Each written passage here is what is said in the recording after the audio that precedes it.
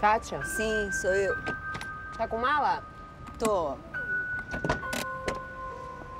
Olha que legal, uma motorista mulher. Se eu ganhasse um real pra cada mina que falar isso, tava rica.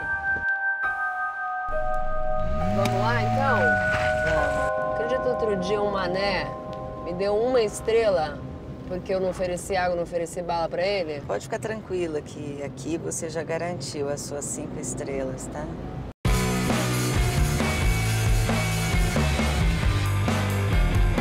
Cala a boca.